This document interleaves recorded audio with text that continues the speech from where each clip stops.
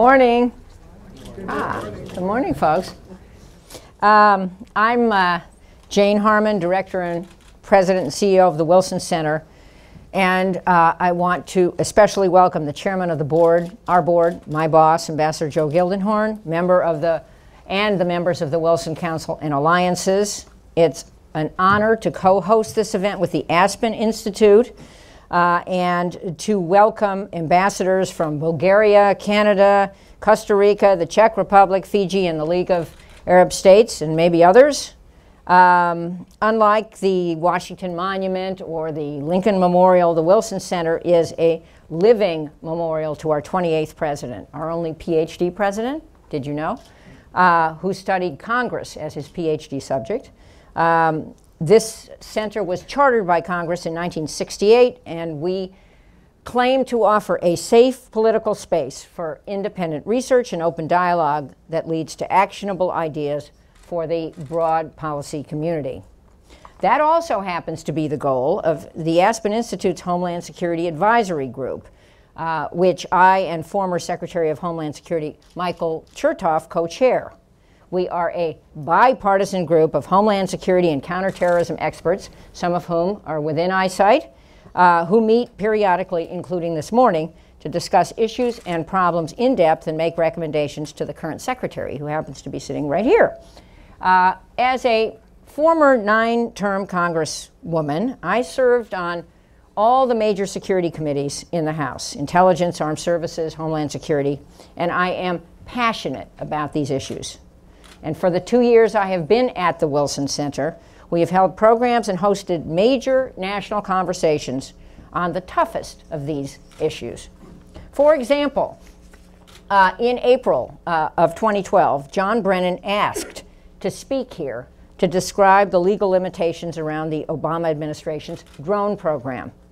The very thoughtful public discussion we had that day may have helped generate the administration's soon to be published counterterrorism playbook.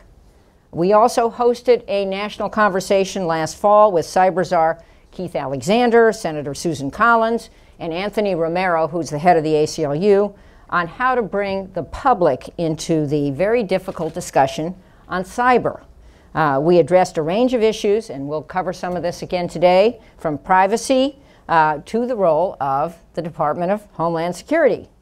Uh, all of the participants in that national conversation shared the view, and I know our secretary does too, that cyber attacks pose a potential catastrophic threat to U.S. infrastructure. Uh, I met Janet Napolitano long ago. she knows what's coming. When she was a young associate in a Phoenix law firm. She claims that she had a perm. I did. But I have no memory. Since then, she has been U.S. Attorney, Attorney General of Arizona, Governor of Arizona, the first woman to chair the National Governors Association. Obviously, I had a great influence over her. Absolutely. And we worked closely together when I chaired the House Homeland Intelligence Subcommittee, and she made one of her first uh, field visits as Homeland Secretary to the Port of Los Angeles, which is the nation's largest container port. The topics uh, I will discuss with her uh, for part of this uh, uh, morning, uh, including cyber, immigration, terrorism, and, and disasters, all impact the Port of LA and other critical infrastructure throughout the country. leading DHS is a nearly impossible job because its jurisdiction merges 22 agencies and departments. Its organization does not parallel the committee structure in Congress. And the threats against our country keep morphing, to name just a few of the modest issues that confront uh, Janet Napolitano every day. And yet she soldiers on and has made significant progress. Special kudos, my friend, uh, to you and your department for the extraordinary performance during and after Superstorm Sandy. Uh, what a sea change, no pun intended, from the response to Katrina. Uh, before engaging in the conversation, let me say a word about one other person who is supposed to be here. I'm not sure that she's here. Is Carie Lemack here? Ah, yes. Um, I want to make uh, do a special shout out for Carie, whose mother was killed on 9 11, and whose voice and courage have inspired Congress and me and the executive branch, both in the Bush administration and the Obama administration, to act. She is the director of the Bipartisan Policy Center's Homeland Security Project, and her movie, Killing in the Name, did an extraordinary amount to expose the fact that much of Al Qaeda's horror is against innocent Muslims. There are lots of big shots in this room, and one of them, a great favorite of mine, Bill Webster, just uh, walked in. But weighing in at 100 pounds, Carie may actually be the heavyweight. So welcome, Carie. Welcome to all of you, and welcome to Janet Napolitano. Now, are you embarrassed? Oh, good. That was my intention. Okay, uh, Madam Secretary, uh, let's start with cyber. Yeah. You've said that a cyber 9 11 is not an if, but a when. What would a cyber 9 11 look like, and how soon could it happen? It could happen uh, imminently. Uh, what would it look like? It could take many forms, but uh, let me just give one that may come to mind, which is uh, what happens when the electric grid goes down. You know, we saw that during Sandy, and you see how that impacts everything from the ability to uh, heat uh, homes, to the ability to pump gasoline, to the ability to have lighting at night, everything. So uh, when we look at the nation's critical infrastructure, and uh, where it is vulnerable, one of the vulnerabilities is through the cyber and the networked cyber world that we live in. Uh, so uh, we have been, you know, kind of trying to get this word out. Uh, the Secretary of Defense has, I have, the Attorney General has, the Chair of the Joint Chiefs has, saying, look, uh, we, we shouldn't wait till there is a 9 11 in the cyber world. There are things we can and should be doing right now uh, that, if not prevent, would mitigate the, the extent of damage that could be caused. Well, as most people in this audience know, uh, legislation is pending in Congress, several versions, but it's stalled. I know we're all shocked to hear that it's stalled. Um, so far as I know, the White House will soon release an executive order to add authorities that don't exist. But what in, in a perfect world, uh, what authorities do we not have? What authorities does DHS need? And, and what role uh, is and should DHS play in keeping our, our uh, country safe from a catastrophic cyber attack? You know, uh, cyber is, is one of the areas where I think the department has evolved the most in the last few years. Uh, now we have a 24 7 watch center. We have a significant population of workers who are expert in this field. We have agreements with the Department of Defense and the NSA on how we uh, can utilize their technical uh, expertise. Um, really, in the cyber world, uh, myself, Bob Mueller, the head of the FBI, and Keith Alexander, General Alexander, the head of the NSA, have worked very closely together uh, to uh, develop playbooks and to really ascertain who has what roles and what responsibilities uh, uh, in different types of scenarios. Nonetheless, uh, what we know in civilian space is that our ability to uh, detect, prevent, and mitigate is assisted materially uh, based on whether we know something has occurred. So uh, the idea of sharing and getting notice, particularly when the infiltrated uh, entity is part of the nation's critical infrastructure that everybody else relies upon, uh, is key.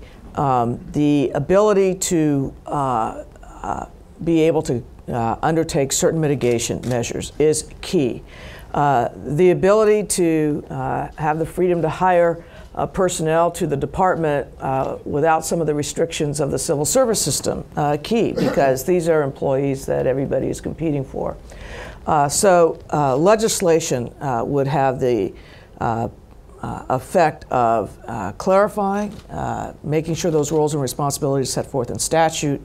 FISMA reform should be included, and then dealing with Why some don't of the you explain what FISMA is? Well, uh, uh, I'm going to let you explain what FISMA is. Go, go, finish your sentence. That's a, Yeah. that is a, a concept I'm not sure everybody's familiar with. Anyway, so uh, uh, an executive order can do so much. Uh, the um, legislation is going to be critical. And it's one of those areas where uh, part of our job is to educate the Congress on uh, what is going on out there, educate the public. We say cyber, and everybody's eyes glaze over. I can see it. I can see it in some of you. Um, uh, and but uh, nonetheless, uh, the clarion call is here. Uh, we need to be dealing with this very urgently and imminently because attacks are coming all the time. They're coming from different sources. They take different forms.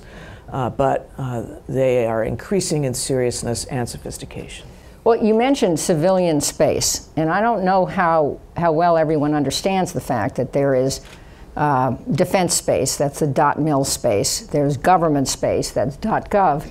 But then there's dot .com and dot .org. That's the civilian space, and that's the, the overwhelming majority of space. And a lot of our infrastructure is operated by the private sector. So that piece of this puzzle has to be in. And um, you, Homeland has uh, jurisdiction uniquely where the Pentagon doesn't. That's right. Or, or the NRO doesn't over this civilian space. And, and, and that is a reason, uh, maybe not well enough understood, why Homeland has to be a major player. And yet, uh, many in the private sector, some of the business interests, uh, have been saying that Homeland does not have the competence to do this job well. Do you agree with that? No. Uh, I think that's what they call uh, that's what's called a leading question. Yeah. Uh, you know, one of the things we deal with all the time at, at DHS is perception doesn't match reality, and so uh, perception uh, is of how things were, you know, five years ago, seven years ago, and the like. Uh, perception needs to catch up with reality uh, because, in point of fact, the department has uh, moved light years ahead in terms of its cyber capabilities, and we continue to move in that direction. And President Obama has continued to ask Congress for the resources that we need in order to do that. Uh, so when we talk about the interaction with the private sector, which we do in a number of other areas already, um, what we're talking about is linking together the, the private sector, that, uh, that part of it which controls our core critical infrastructure, uh, with our overall statutory responsibility to help protect the nation's uh, infrastructure.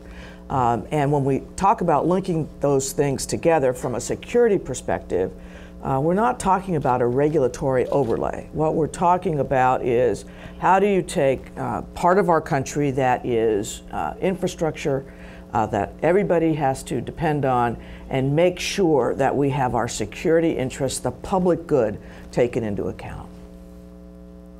Well, I obviously agree. Mm-hmm. Changing the subject uh, to a, an uncontroversial subject like immigration. Yeah. Uh, President Obama said on Monday, quote, our journey is not complete until we find a better way to welcome the striving, hopeful immigrants who still see America as a land of opportunity, until bright young students and engineers are enlisted in our workforce rather than expelled from our country. Uh, you were governor of, of Arizona when the uh, Bush 43 administration bipartisan comprehensive immigration bill failed. Uh, are we ready for another moment where we could pass such a thing? Do we still need a bill like that? And, and what efforts will you and your department make to try to help this president uh, put immigration reform back on the uh, back at the top of the agenda? Well, I, think the president's very clear that immigration needs to move forward, and it's one of those areas where uh, uh you know the business interests and faith-based interests and advocacy groups and uh, others now clearly recognize that the system we have uh, doesn't match uh, the needs that we have as an immigrant country. Uh, so uh, we need to do uh, a couple of things. most importantly, we need to reform the way people can become citizens of the country. we need to reform our visa system. we need to deal realistically and practically with those already in the country. Um, and quite frankly, uh, one of the straw man arguments I now hear is, well, we can't deal with immigration until we, quote, secure the border, right? You've heard that phrase. Well, the plain fact of the matter is, is that border numbers haven't been as low since the early 1970s. Um, we've really changed uh, the, that aspect of the border. More manpower, more technology. We now have air cover across the entire border. uh, uh, we're getting to the point of diminishing marginal returns. Uh, what would really help us is if we could uh, improve the legal migration system so that people come through our ports of entry. We know who they are, we know where they're going. Uh, if necessary, we know how long they're entitled to stay. Um, so uh, we shouldn't take these things as a sequentially, they go together, they are interlinked. Um, and do you think will, that the president will be able to make progress on this, uh, uh, the legislation in this first year of his second term? Well, I think uh, I think there is great bipartisan discussion already occurring in the Congress, in both houses, on immigration. Uh, so this may actually be one of those big issues that the Congress can take up and recognize it's for the good of the country as a whole and, and try to get out of the uh, kind of partisan gridlock in which it has been found the last, uh, last decade, really. Well, I don't want to out him, but Steve Hadley is about four rows back. And uh, he remembers, uh, I'm sure, the disappointment when that bill failed. Uh, Michael Chertoff, your predecessor, was one, one, of the point persons on it and had to go sit in his cabin by himself for the weekend after it failed. He was so discouraged. Um, but it's a big deal, and it right. affects uh, our whole country. And uh, certainly, I'm, I'm personally hopeful that we that we make real progress. Uh, last immigration question. You've been working with the Mexican government on creating a 21st century border right. between the U.S. and Mexico, uh, one that's based on risk segmentation and the application of the latest technology. Uh, please update us on how that's going. That's going well. Uh, you know, Mexico is one of our leading uh, trading partners. Uh, and uh, quite frankly, we need a port infrastructure that allows goods and commerce to flow smoothly through. Uh, we're working on uh, projects like pre inspection, so trying to take pressure off the physical uh, border and do things before goods get there. We're working uh, with Mexico on trusted shipper and trusted traveler uh, programs. We're working on doing risk based analysis of cargo. Uh, before it even arrives at a port of entry. So um, I think that border, which is the most frequently traversed border in the world, uh, really can serve and will serve uh, as a model for how you manage a, a, long, complicated, complex border to the economic advantage of both sides. Well, we also have those issues along the Canadian border, and we have it, them uh, at our ports. Uh, one of the things I'm proud of uh, from my service in Congress, which I did with uh, former Representative Dan Lungren, bipartisan bill, was the Safe Ports Act, right. which had the same idea layered security as far out as possible. At the right. point of embarkation, uh, we checked what was in containers and then they were secured so that they couldn't be tampered with on the high seas. So by the time they got here, there wouldn't be a slowdown in letting commerce uh, travel through the U.S. because our ports are big feeders of. Uh, of economic, uh, our economic. Oh, sure. The port of Los Angeles. Just look at the ripple effects when uh, the cargo stops moving at that port. It ripples through the whole country. One of the things, though, you raise a good point our, our department's name is Homeland Security, but in point of fact, a lot of our work needs to be done internationally and is done internationally. We now have uh, folks in 75 countries around the world. Uh, we are negotiating agreements all the time with other countries on how we do these things, how we make agreements for how cargo will be handled and sealed and inspected, uh, how we make agreements on how passengers can, can come all of those things, I think, creates an international security net in a way uh, that enables us to uh, look forward to, I think, greater ease in the commercial side and on uh, the travel side than we've ever had before.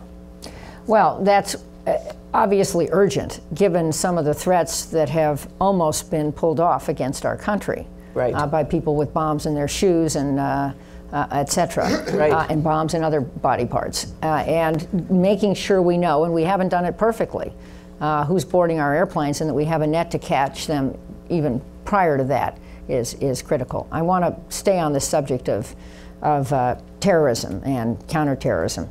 Um, there's a lot of unrest in Mali. Everyone's reading the newspapers, and obviously in Algeria too. Why do those events affect your department and your jurisdiction? Well, uh, when you think about the world today, you know, we have, we're in the post Arab Spring world.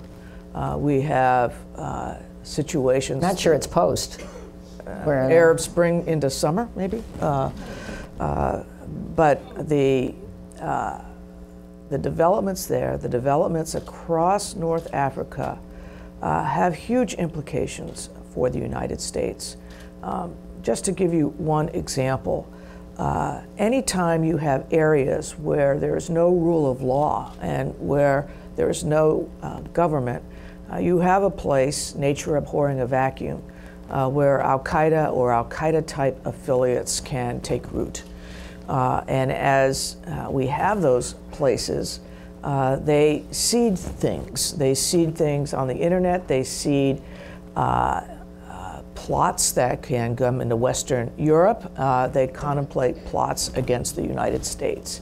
And just because we haven't had a major terrorist attack in the homeland in the last few years does not mean that we can seal ourselves off from the risk of such an attack.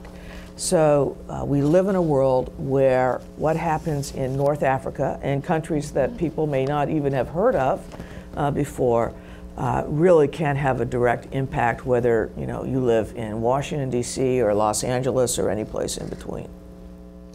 And the flip side of that is we also have homegrown terrorists. Right. And so called lone wolves, those are people who don't act in, in consort with others.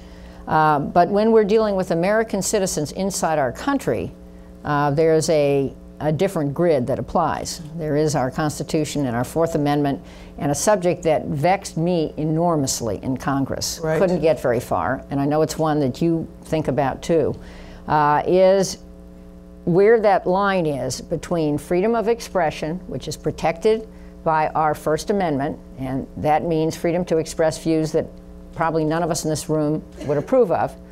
That's protected. And then there's a line, and then it is uh, expression of views that, that cause violent behavior. I mean, actions that, that are violent, which are not protected.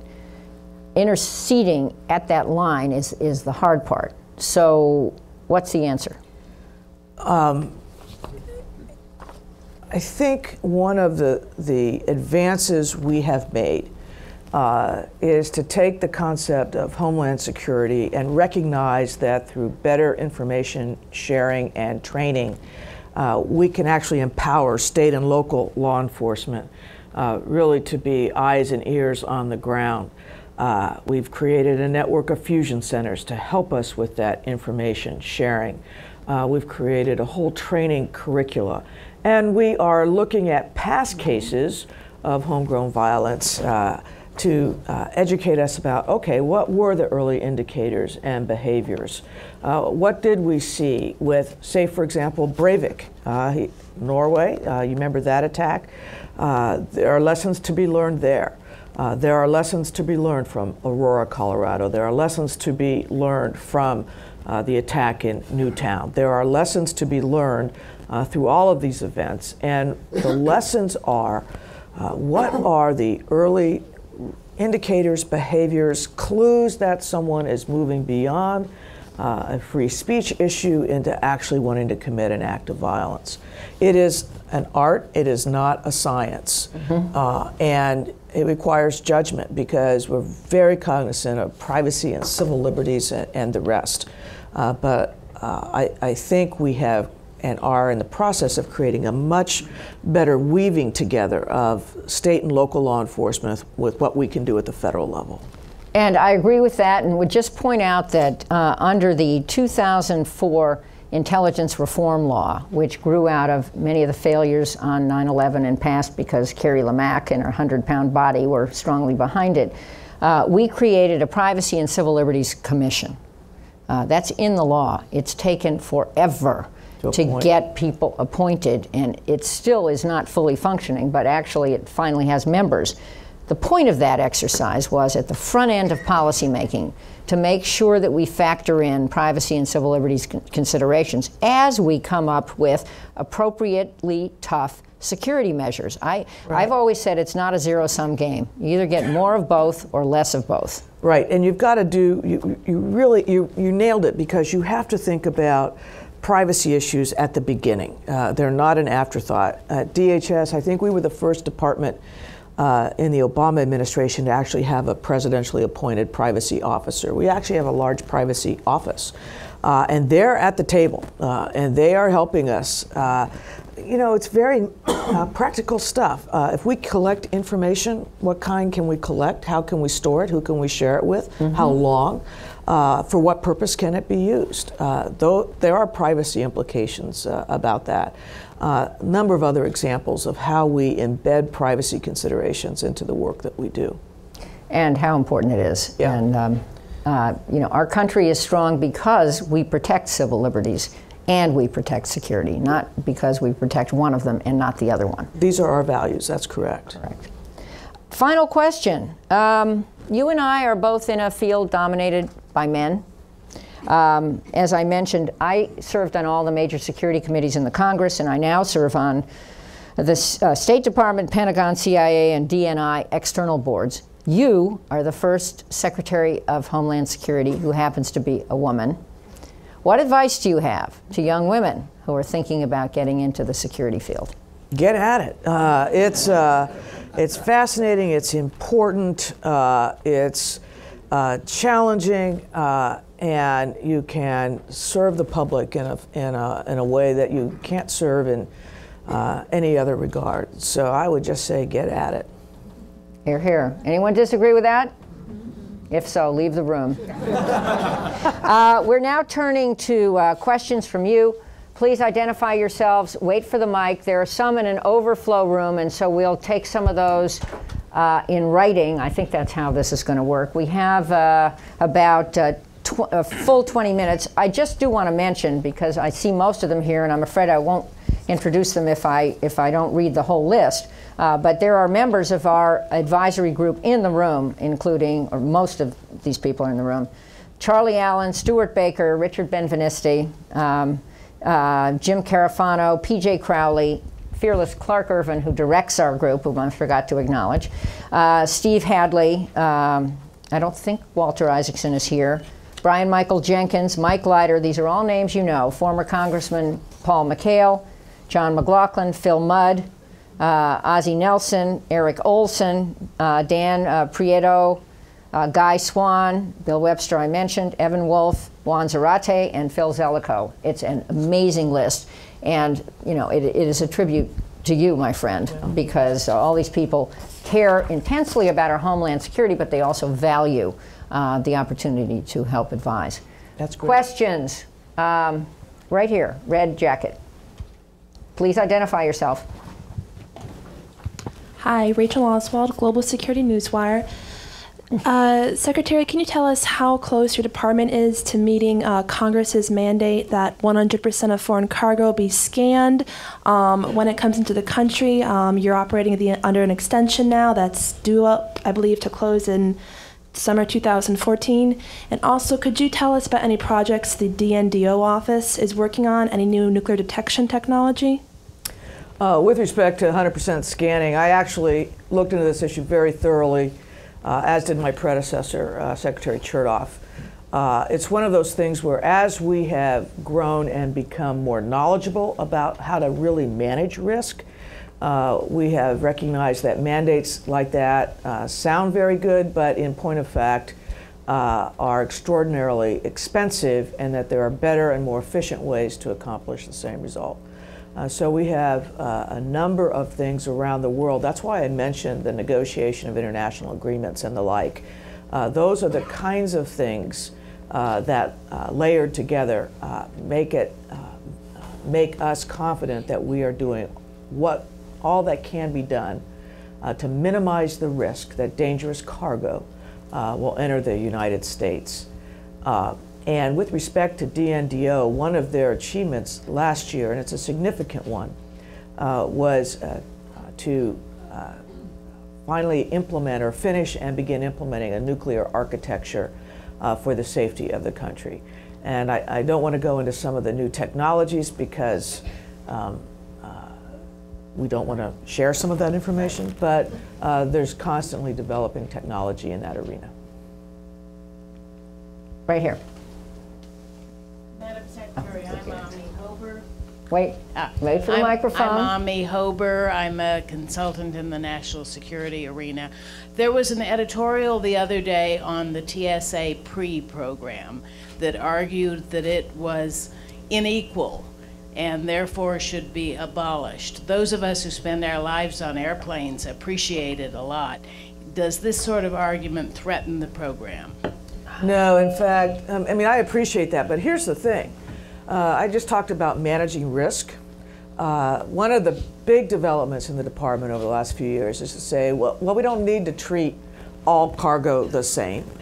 We don't need to treat every passenger the same. Uh, we did as we got started, that was the only thing to do, but now we can begin uh, really looking at uh, risk or travelers we need to know more about uh, versus those that have already given us information. Um, so, as we have been able uh, technologically to link systems with the airlines, uh, as we've been able to uh, uh, have airports install the right types of equipment, uh, you have seen the pre-check program, the, the domestic program, uh, already expand. I think the number I recently had was about 8% of passengers now are in it. Uh, our goal is to get to half of passengers having some kind of uh, pre-check capability within the next two years.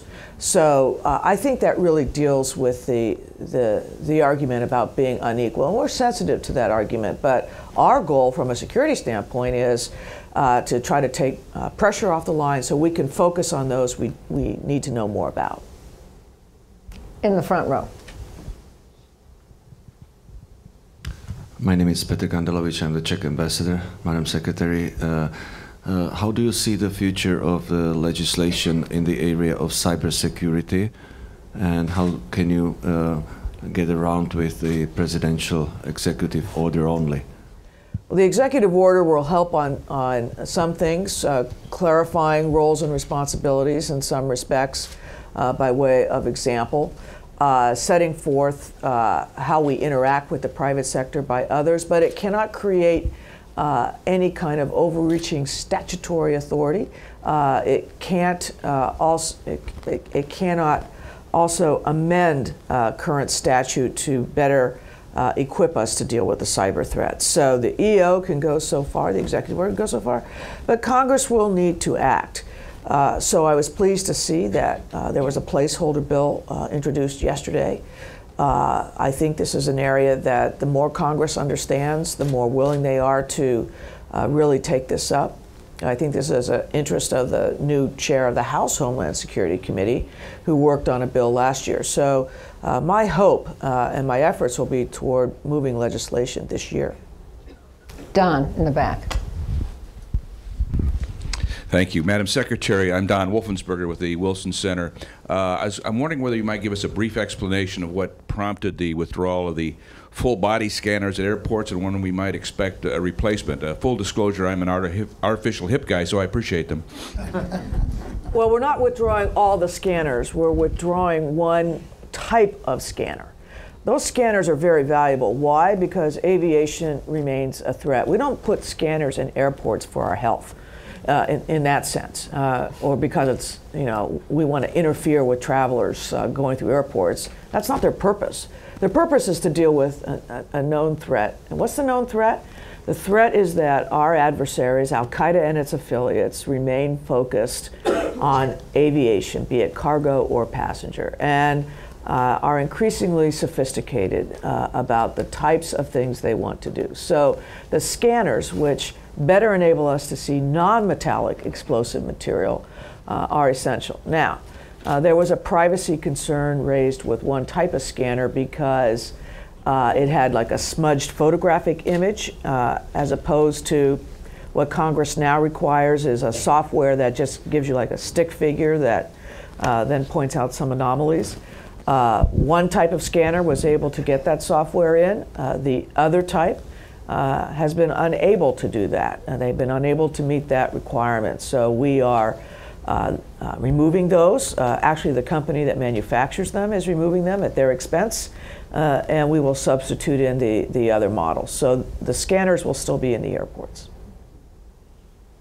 Over there, in the back. Right here, with your hand way up, right there. Thank you. Uh, I'm Ted Alden from the Council on Foreign Relations. I wanted to ask you when we might see from uh, DHS some additional releases of data that would be very helpful in the coming immigration reform uh, debate. I'll give two specific examples. One is visa overstay rates, which would help uh, for those in Congress who want to move forward in expanding the visa waiver program, and would also help counter the, the very common perception in Congress that visa overstay remains a massive problem, a big invulnerability, a real weakness in, in border security. The second would be some data on the effectiveness of the consequence programs at the border. I mean, we're now, you know, most of the, the people that, that are being apprehended by the Border Patrol now are going through some kind of consequence programs. That's right. Are these effective in reducing recidivism and preventing people from trying again, which has been a problem for so many years? These are pieces of data that would be very helpful in the debate, and I think a lot of that is probably available at this moment to DHS. Right, uh, uh, and and we are preparing some of that data in uh, in the likelihood that uh, comprehensive immigration reform comes comes up. So visa overstay rates and what we have done to go back now and to identify uh, visa overstays. Uh, in the last 18 months is significant. I mean, one of the things we have discovered is a lot of individuals who were so-called visa overstays actually had left the country. Uh, we just didn't have a good record of that. So uh, one of the other things we're adding is a, a very enhanced uh, biographic type of exit system, which will be implemented over the next uh, years. Uh, that will give us a better sense of who's actually leaving. Uh, and, and with respect to uh, consequence delivery, you're absolutely right. Uh, we're past the time when uh, we just do turnaways uh, at, the border. If you're found, you, you go into, we have some different models of consequence along the border. but we're keeping track of that, in, in particular for recidivism rates. And so uh, our consequence delivery uh, program, I, I, think we'll have data available for the CIR debate. That would, that would be very helpful because there's still, I talk to folks on the Hill a lot, there's still a lot of mistrust about that and getting some data out there would be extremely helpful. Yeah, I, I agree. And uh, one of the things we need to do is, is educate members about what really is happening on immigration and at the border. Again, the perception and the reality are two different things. The woman in the back by the window. Hi, uh, my name is Lina Lee, and I'm an intern here at, at uh, with the Wilson Center. And um, I have a question uh, regarding the drone attacks uh, because um, the targeted killing of Awlaki uh, just raised a lot of questions. Uh, one of them is about the due process, due process uh, in the uh, Constitution, uh, President Obama has stressed that uh, due process does not equal to uh, legal process, but we know that it won't last long. So um, I wonder uh, what kind of um, like legislation the Congress is working on, and do you think there will be a change in the first year of the second term of President Obama? Thank you. On the drone, on drones? Uh, on the on, of oh, drones? I mean, on the uh, targeted killing of uh, U.S. citizens specifically? Um, I think that uh, uh, what we have done is to uh, use a technology now available to focus on and target those who are seeking to do harm to the United States. Uh, there is a legal infrastructure around it within the federal uh, executive branch. Uh, I think that uh, there will be uh, some further iteration of that as we go through this, this next year. Uh, that's been worked in the, the what they call the interagency. but let, us not forget that Awlaki was really one of the key perpetrators of fomenting an attack against the United States. Let me, if I might, just add something there uh, as a former member of Congress. Um, I mentioned in my opening remarks that John Brennan came here to explain that there is a legal framework around drone attacks. Right. I also mentioned that the administration, I think probably led by him, is developing what's called a counterterrorism playbook, which That's is going right. to be more specific about what this framework is. I'm aware, and I think we are all aware, that some in Congress want to see the legal memoranda that have been prepared by the Obama Justice Department explaining the, the policy around um, uh, targeting American citizens abroad. It's a, it's a careful policy, but nonetheless explaining it. And Congress wants to see the memos. I personally think, as a former member of Congress, that in a classified setting, those memos should be made available to Congress. And Congress, as an independent branch of government, should be able to review them. And there ought to be a public discussion of not, not all the details, not the targeting set, but of, of the general subject. And so I, I think I, I'm pleased that you raised it. I, you know, it's the kind of thing the Wilson Center does. We want to have conversations around tough security issues. And uh, this is, a, I appreciate the fact that you, an intern at the Wilson Center, raised the subject. So thank you very much. It wasn't a planted question. Okay. Uh, other questions, right here.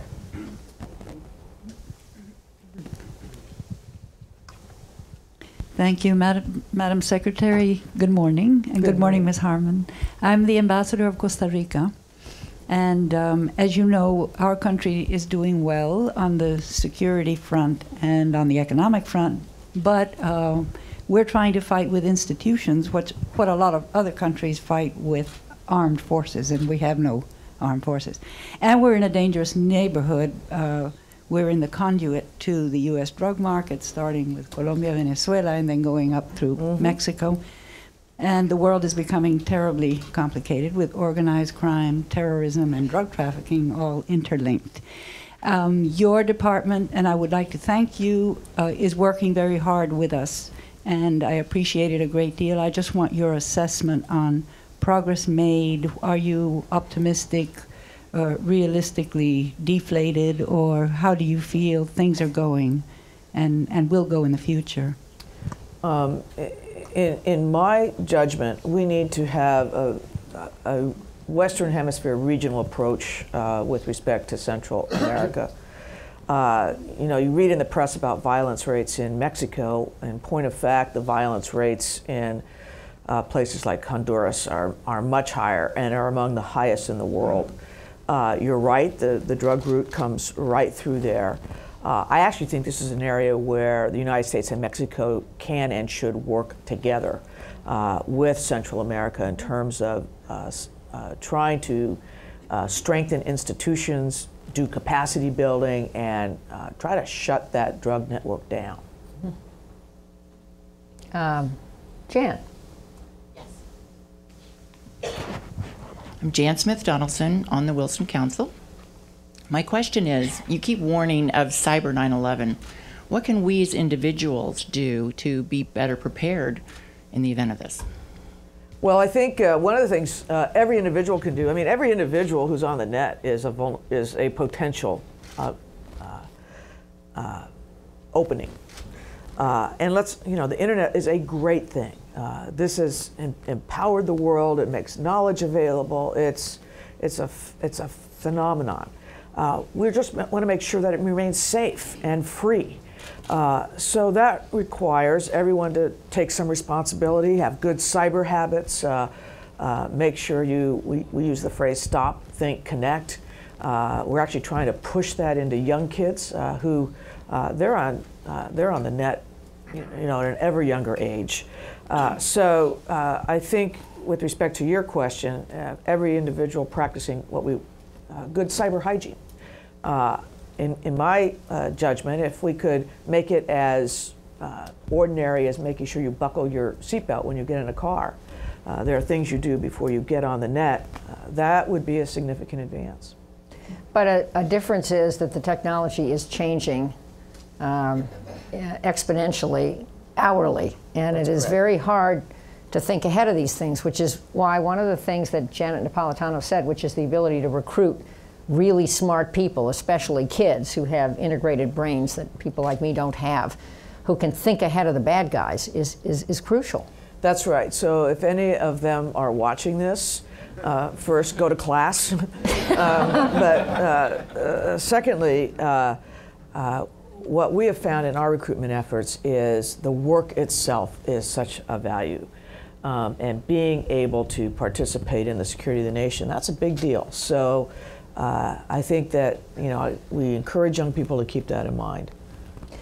Uh, we have 10 minutes left. I'm going to take two more questions. I then am inviting anyone from our advisory group in case you have a question or an observation briefly, and then uh, the secretary will be able to wrap up. So the two questions are going to be Stape Roy right there and in the very back by the window. Uh, Stapleton Roy with the uh, Wilson Center. Uh, Madam Secretary, I think you've correctly highlighted the uh, cyber threat. Uh, we have crime threats in our streets, but we have policemen out there who arrest criminals and prosecute them and send them to jail. Uh, in the cyber field, we're constantly told about the threat, but we, people who are victims of the threat, and we get viruses and attacks on our computers all the time, we don't see any visible evidence of the people who are going after the perpetrators. Uh, some of the threats come from misguided domestic people, some come from foreign sources or from foreign governments. Is our legal framework, do we need international agreements on what's permissible and what's not permissible in terms of what governments should and shouldn't be doing? And why can't we have, there's no 911 number to send infected th things off to where somebody's responsible for going after the perpetrators. M my sense is we need a more public evidence that there's an agency in the government that is addressing these problems. Could you address this problem? Because I constantly hear about threats and I don't see any visible evidence of who's going after the threats and who's dealing with them. Yeah, who's going after the threats? It's, it is, um, it, it, it is uh, the FBI, it's the Secret Service, it's uh, Homeland Security investigations under ICE, uh, it's state authorities in some respects, U.S. attorneys in some respects. Um, but the point you make about uh, the international framework and the global nature uh, of these things is so very, very important. So I think you're exactly right. Um, uh, we do not have an adequate international framework uh, for dealing with some of this. There have been attempts, there's some things going on right now, uh, but in terms of really the world coming together and uh, reaching agreement on some conventions to be used where the internet is concerned, we're, we're not there. Uh, the idea of an internet 911 uh, kind of call thing, that's a neat idea. Um, I hadn't thought about that, and that would be something that I think our shop would take into account. So um, I think I'm going to take that back. In the back of the room. Madam Secretary, uh, you brought up the new chairman of the House Homeland Security Committee. He has said that one of his uh, plans is to fix DHS. Wondering if you think that DHS needs to be fixed, and are you worried about at all about having to work with a new Congress and a new chairman? Yeah, I've met with the new chairman. I, I think what he means by that is we want to continue to uh, integrate, to unite, to improve, uh, uh, to really uh, drive some of the issues we've discussed this morning uh, forward, uh, be it cybersecurity, be it a real immigration system that matches our current needs, be it counterterrorism and all of its morphing forms, international and domestic. and so I think you know, we look forward to working with him and with the new chair of the Senate committee uh, to keep on moving these things forward. When you think about the major issues that are uh, uh, in discussion in the country, there, there are the fiscal issues, um, but then you get to immigration reform, you get to cybersecurity, uh, you get to gun violence and what we do about that. Those are all in the wheelhouse of the Department of Homeland Security. Uh, so uh, we're going to be in the middle of the national dialogue on those three critical issues. And we'll work with the Congress on those. We'll work uh, with the public on those uh, because they're critical. I'm Mike Groman with uh, ExxonMobil. Madam Secretary, we talked a little bit earlier this morning about the cybersecurity information sharing and collaboration program. and I just wanted to acknowledge that again, that from our perspective, that program is critical. It's working well. It gives us an opportunity to work closely with DHS uh, personnel and understand what their needs are so that they can understand our needs. Uh, taking that just one step further to a point you made earlier about the fact that beyond the domestic uh, homeland security, you deal internationally. Uh, is there an opportunity to take a program like that and share it in other parts of the world so that uh, we have the same opportunities as uh, organizations and as a country to learn what's going on and have those types of information sharing communications that are so important? Yeah, I think there is. Uh, I think uh, exchanging information, sharing best practices, whatever you want to call it, we can do it bilaterally, we can do it multilaterally. Uh, there have been uh, sessions already uh, with uh, our EU partners on doing exactly that.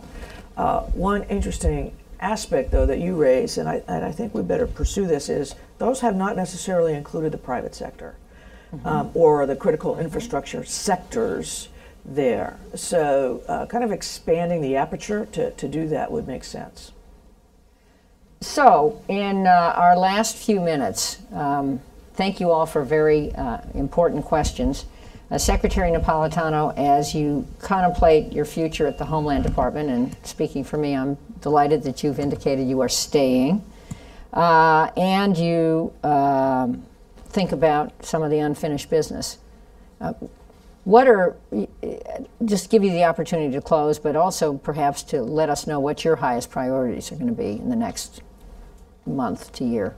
I think uh, when, when I look at where I'm going to be spending my time, uh, aside from kind of the, the management uh, integration type, type issues, uh, I think uh, the coming immigration debate is something that uh, we are going to be deeply involved in, and we have deep and wide experience uh, in those issues. Uh, cyber, uh, we have already mentioned. Uh, and then the constantly evolving types of terrorist threats and how we can better educate ourselves, train law enforcement, ascertain from uh, history and otherwise, what are, what are better ways to identify behaviors and indicators of, of potential violence. Um, those are the things that are going to concern me. And as I was mentioning uh, just now, when you think about uh, the issues confronting the country, and, and there are many, uh, but uh, those are three central ones. Uh, and we now have created this huge asset. You know, it's a Homeland Security Department that integrates what previously had been 22 different entities with different home agencies and uh, and so forth. Uh, and now we're not just about connecting the dots; we're about finding the patterns and about really uh, analyzing what are the dangers to the security of the people of the United States. Uh, what are the highest ones? Uh, what are uh, the ones that are best managed now, better managed now? Um, manage the second decade after 9 11. I think there are some important questions still to ask. I think that's right. You know, what are our values and are we getting it right? And these are questions that, that many of you think about.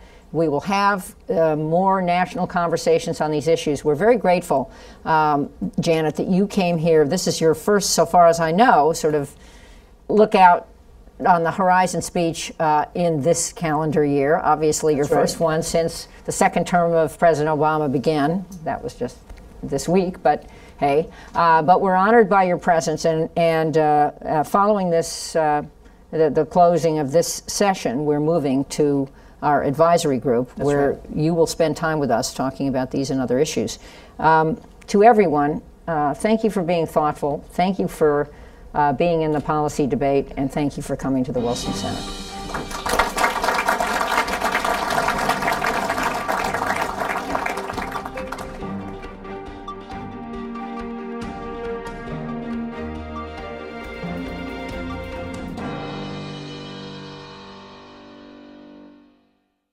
Hi, I'm John Milewski, host of Dialogue at the Wilson Center, and joining me at the table for this discussion is Rob Litwak, who is our Vice President of Scholars and Academic Relations and also Director of International Security Studies at the Center. Rob, welcome to the discussion. I want to ask you about your lane of, uh, of uh, research and, and expertise over the years, which is nuclear proliferation, mm-hmm. uh, which used to be the story and now is somewhere in the background. Yeah. Ex- explain the dynamic. Well, after 9 11, uh, when Al Qaeda attacked Wall Street and, and, and the Pentagon, uh, the, the, the, focus of security concerns shifted to this nexus of proliferation and terrorism.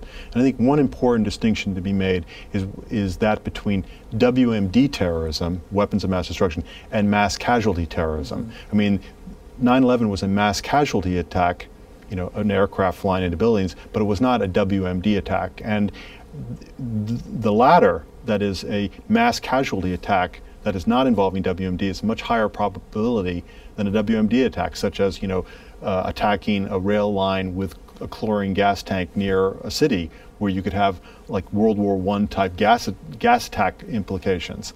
Um, the, the, the, WMD attacks it's it's uh, uh, captures our concern, but is less likely than a mass casualty attack that doesn't involve WMD. I, I know it's always difficult to quantify exactly, but I, do you have any sense of what percentage of our efforts, uh, when it comes to homeland security or security internationally, are focused on the nuclear question? Don't know. I couldn't assign a percentage to it, but there's been a substantial effort by Department of Homeland Security to have, say, radiation monitors uh, for uh, cargo uh, containers coming into the country, and uh, looking at even having projecting the U.S.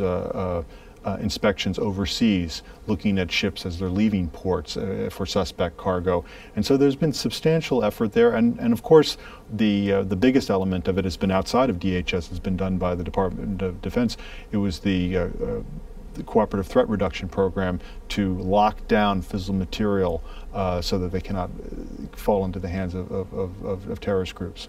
There's always been a lot of hope in uh, technology, technologies that will allow us mm. to detect things that in the past had been undetectable. Are there any technological breakthroughs that are either happening currently or, or that we're on the verge of in this regard?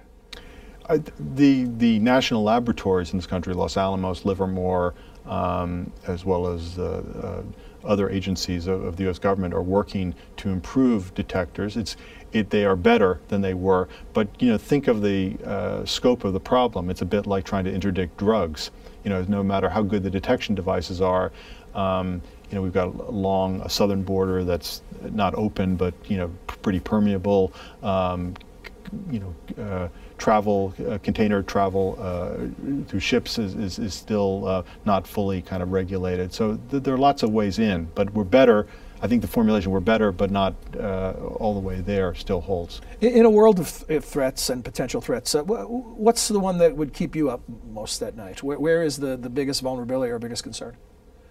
in terms, I would it would say most likely would be one of these W, uh, you know, mass casualty attacks that doesn't involve a WMD. But the one that keeps me up in sort of the lane of activity that I work on would be a nuclear weapon from a an established nuclear arsenal, such as Pakistan, uh, being diverted from that and then handed over.